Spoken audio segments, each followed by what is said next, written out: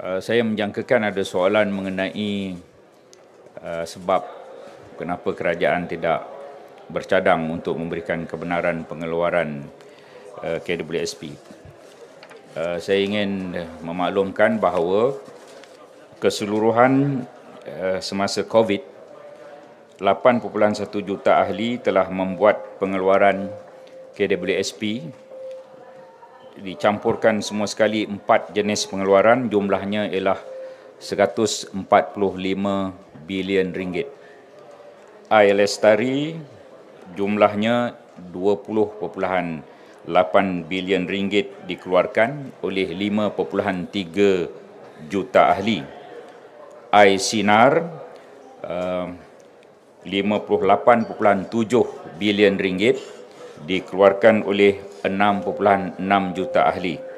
Air Citra 21.4 bilion ringgit dikeluarkan oleh 5.2 juta ahli dan pengeluaran khas daripada April hingga Mei 2022 44.6 bilion ringgit atau oleh 6 juta ahli. Antara punca utama uh, kenapa uh, pengeluaran ini uh, tidak lagi uh, dibenarkan. Uh, yang pertama ialah covid sudah selesai. Uh, kalau kita lihat moratorium pinjaman balik pun sudah uh, tidak ada. Uh, satu lagi ialah apa ni uh, subsidi-subsidi khusus seperti uh, subsidi upah misalnya uh, juga sudah tidak ada Eh, satu lagi perkara yang saya ingin nyatakan di sini sebagaimana yang telah dinyatakan dalam jawapan saya tadi. Semua kaum dari segi median simpanan ahli KWSP uh, pada 2019 uh, sebelum COVID 16.6 ribu ringgit. Tetapi selepas kita benarkan pengeluaran pada 2022 berkurang 50% kepada 8.1 ribu ringgit sahaja. Ini untuk semua kaum.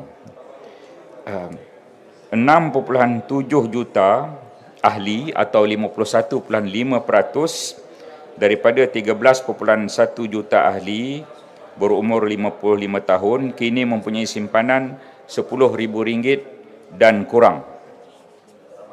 Ahli di bawah umur 55 tahun di bawah kumpulan B40 dan M40 adalah paling terjejas daripada jumlah simpanan. Eh, jumlah simpanan antara kaum juga eh, semakin meluas. Sebagai contoh, eh, median simpanan ahli kaum Melayu yang melibatkan 7 juta ahli pada April 2020 sebelum dibenarkan pengeluaran ialah 16.9 ribu ringgit.